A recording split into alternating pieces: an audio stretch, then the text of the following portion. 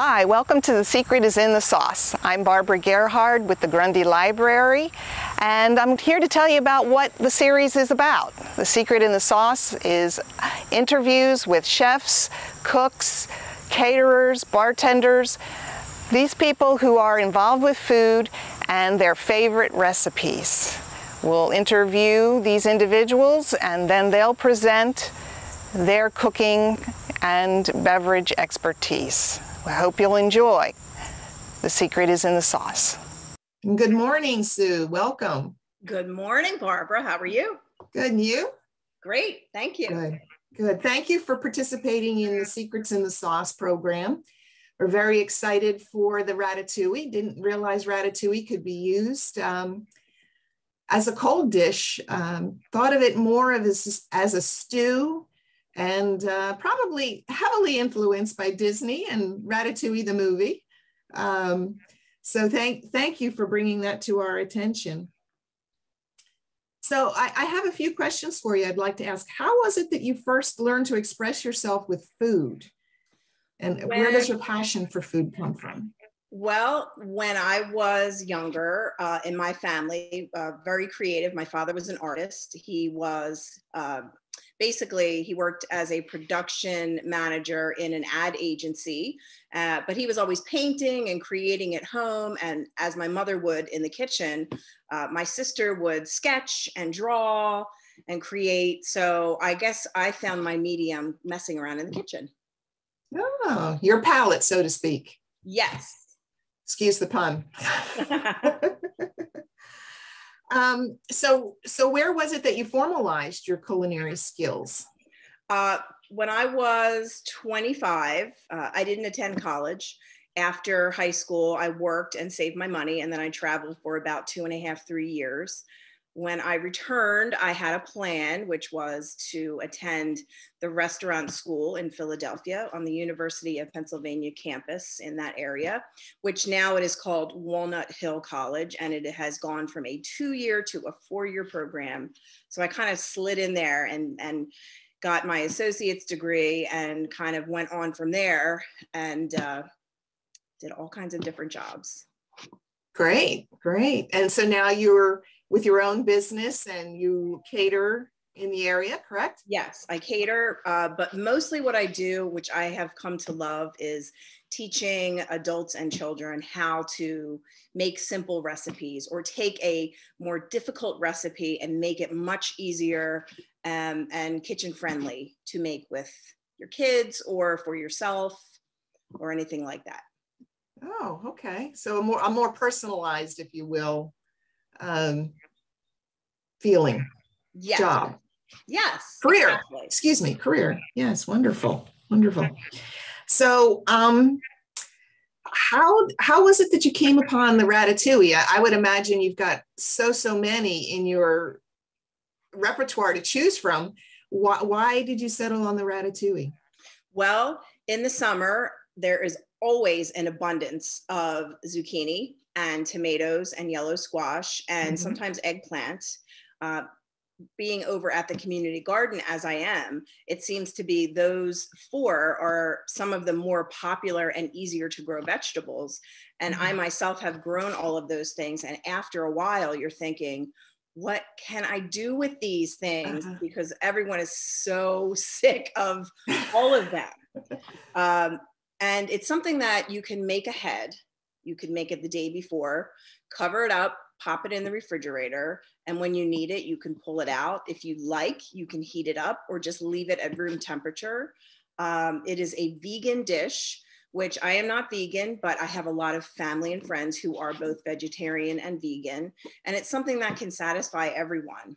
So it's just mm-hmm. basic convenience and ease of purchasing the ingredients if you don't um, grow them.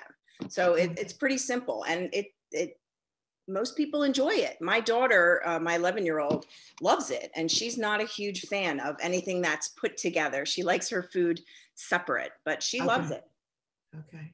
Yeah. Yeah. I, I can relate to that. My, I have a family member who everything is portioned on the plate, things don't touch. Mm-hmm. Yes, exactly. Yeah. So, so what is your favorite dish to cook? Do you have anything? Well, I do actually. It's really hard to narrow it down, but it seems to me I get excited about every new change of season. Uh, okay. I get really inspired by whatever is fresh and local. Uh, mm-hmm. For example, in the winter or in the fall, I love to make a chicken pumpkin goulash using chicken thighs. And it's spelled G H O U L A S H mm-hmm. for Halloween. And okay. it's just like a really delicious, yummy, warm, chickeny pumpkin stew. Mm-hmm. And it be- has become a family favorite here in this house. Um, I love the new season and the challenge that comes with what you can find and what you want to make and what will satisfy everyone. Mm-hmm. Is there a least favorite that you have to cook? Uh, I do not cook any organ meats. Um, okay no mm-hmm. liver or anything like that. That was my punishment as a child living in a home with parents that loved liver. So none of that will will ever come into this house. How about oysters? We love oysters. Yes, we don't mm-hmm. actually bring them into the house. We'll enjoy them out at a restaurant. Um, okay. Uh, it just it's easier than having to wrestle with the oyster knife at home. But yes, we love oysters. Yeah, that's a new food for me. Relatively new, the oysters that's great that you're trying it. We love seafood. Any kind of chilled seafood, whether it is cooked and chilled or raw, um, mm-hmm. as long as they're from a good company where you know you will not get any kind of foodborne illness, you can enjoy them and not worry about sickness. Yeah, yeah. Uh, responsibly sourced. Right? Yes, exactly. So, is there a signature dish that you consider you for yourself? A dish that you consider a signature for yourself? believe it or not, ironically, it is a dish that I never really made before the past, probably, excuse me, I probably didn't make it all that much when I was younger because I didn't grow up with it. But my husband's family are Puerto Rican. Mm-hmm. And there is so much great flavor in Puerto Rican food. And I love to make pollo guisado and the Puerto Rican rice and beans with the pigeon peas. Um, that has kind of become my go to dish when we're having company or when we're going to see his family. And it seems to satisfy everyone. Great, great. Is there an herb then that you prefer to use or is a favorite? Lots of time. I love herbs. And that is one thing uh, that I am able to grow really easily. I don't have that much of a green thumb. I do belong to the community garden. I'm wearing mm-hmm. the shirt. Mm-hmm. Um, I do a lot of trial and error with mm-hmm. my gardens, but herbs are one thing that I get right every time. They're basically weeds, so they are very, very easy to grow. Um, again, it is uh, seasonal. In the summer, I use tons of basil. In the spring and the winter and the fall, I use tons and tons of thyme, especially lemon thyme, which is wonderful. Mm-hmm. Um, so it really depends. A lot of bay leaves in the winter. Mm-hmm. Anything fresh and seasonal is is definitely my go-to. So it does change up quite a bit. Mm-hmm. Mm-hmm. Yeah, we with the, the uh, cooking club at the library, uh, cook the book. I don't know if you're familiar with it. We would meet four times a year. Um, one of the participants introduced the group to lavender as an herb to cook with. Yeah. Oh, yes. Uh, lavender and lilac are usually my spring go-tos.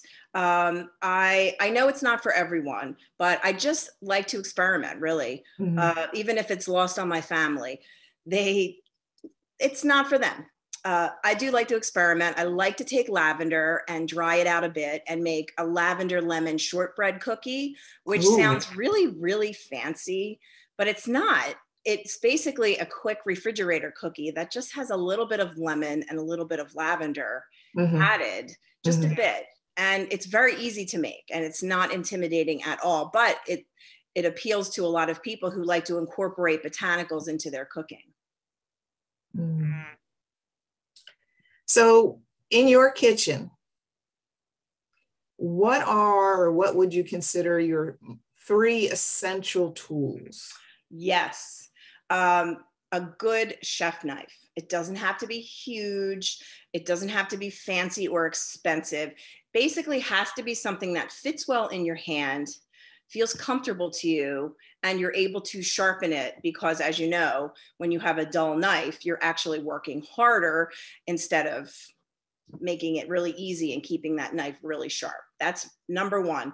Number two for me is a tool that i use all the time. It's a microplane which is just well most people know what a microplane is. It's just a really fine grater. I should have brought it in here uh, I use that probably more often than anything else. I use it for garlic.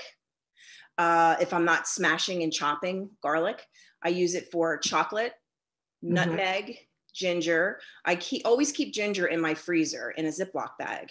I add ginger to probably about 50% of everything that I cook. We do a lot of Asian food.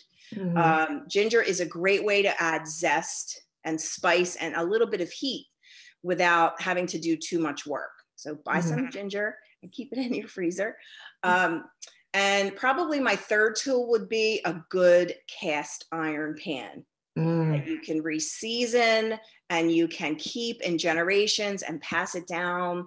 They're mm. wonderful to sear a piece of meat or you can cook cornbread in them. A good cast iron pan, it doesn't have to be expensive or fancy or a brand name. Pick one up, treat it well, learn how to treat it well, and mm-hmm. you'll have it forever. Yeah, yeah. I uh, am acquainted with some foodies, if you will, and um, I do know that their pans came by way of their grandmothers.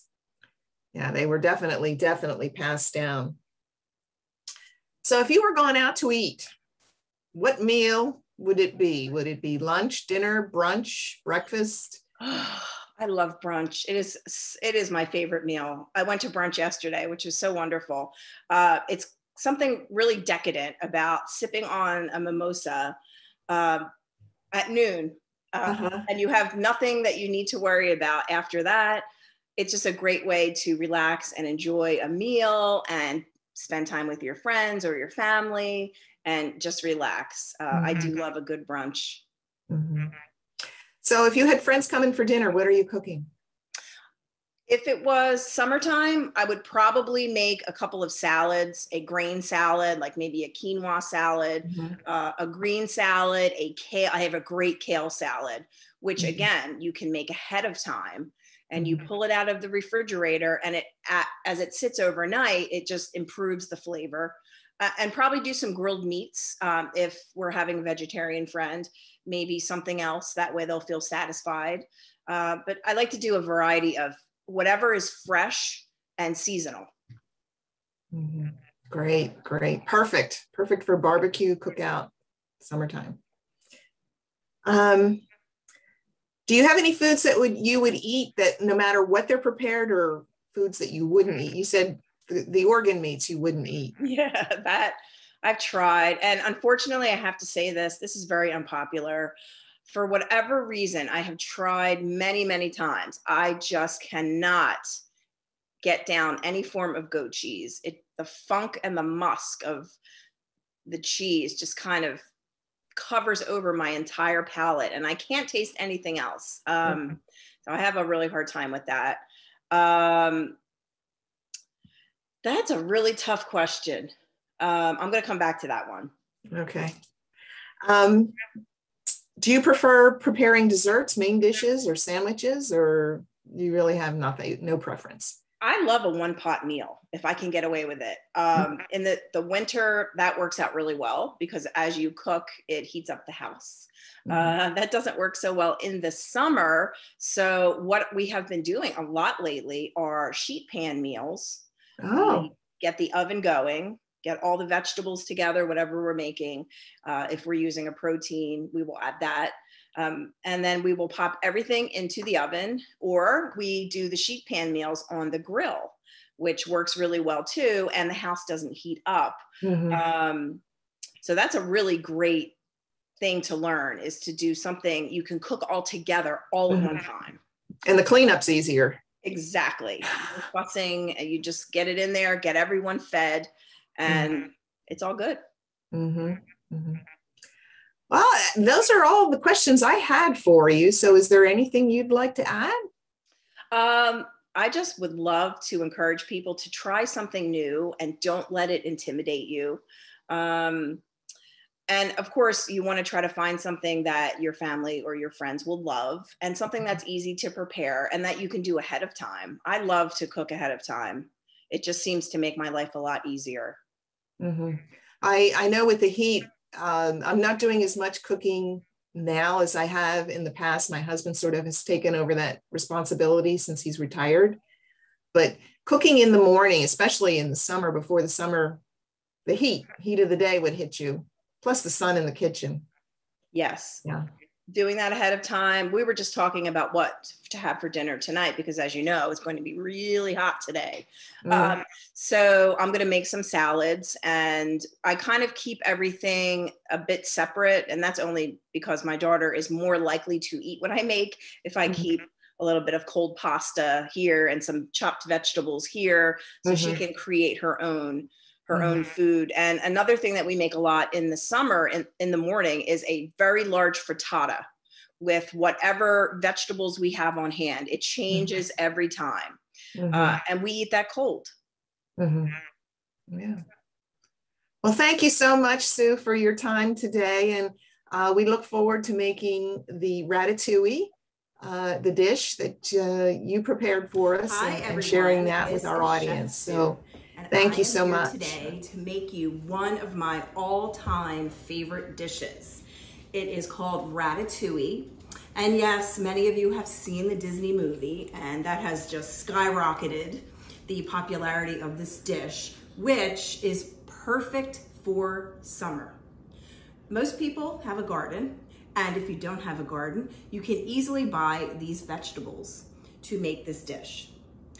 Um, before I get into the dish, I wanted to explain the three components that make this dish what it is. The first component is a sauce that goes in the bottom of the pan. Very, very easy to make. It is called piperade. And I know I probably butchered that pronunciation. It is French because this dish is from the south of France. And it actually originated as a peasant dish.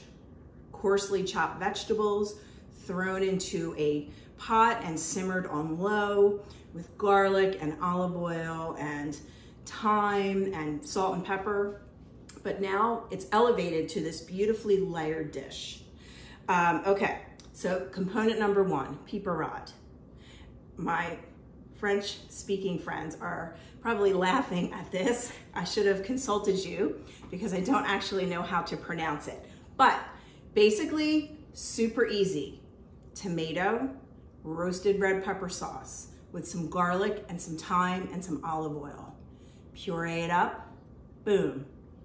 You have a smoky, sweet, slightly spicy base. If you don't wanna roast your own peppers, you can buy a jar or a can. What makes it smokier is using some smoked paprika, which is extremely easy to find anywhere. You can get it at any store. It's a good thing to have in your pantry. You can use fresh thyme or you can use dried thyme. And if you like anything else, you can add that too. I like to take a fancy recipe that's very precise and I like to break it down and make it simple for anyone to make, any skill level. So that's what this is. If you want the super ultra fancy preparation for ratatouille, Google and you could follow the directions, but it's going to take you about four hours to make. So this is a very simple ratatouille.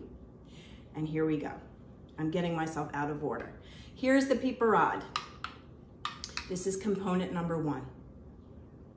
Component number two are our beautiful summer vegetables, which you can get any time of the year. Plum tomato, zucchini, yellow squash, and Japanese eggplant. You can use any kind of eggplant you like. I like Japanese because they're all about the same size. So it works and layers beautifully and it looks fabulous. It looks like you've spent all day on this dish and you haven't. Component number three, which you can whip up while your ratatouille is baking. A simple vinaigrette to sprinkle over the top before you serve. You can use any vinegar or any acid that you like. I am using some balsamic vinegar, a little extra virgin olive oil, and I have fresh thyme and fresh basil and some freshly ground pepper and some kosher salt. You can use any salt you want. I like kosher salt. It's easy to find, it's flaky, and it has texture. So I'm going to layer this and you will get to see how you do it and how easy it is. This is a bay leaf. This is being removed, obviously. That wouldn't be too nice to taste. So you take your piperade sauce and you simply layer it in the bottom of any casserole dish, anything that's oven proof. You could make a really large one, or you could just make a small one in a pie plate, which is what I'm doing today. Uh, you're gonna find yourself probably with some extra vegetables, and that's okay. You can simply use them and make a smaller piperade, a smaller ratatouille with your extra piperade, or you could just roast your veggies in the oven with some of the vinaigrette. Nothing is wasted. So what you can do is you begin just by arranging your vegetables in a pattern.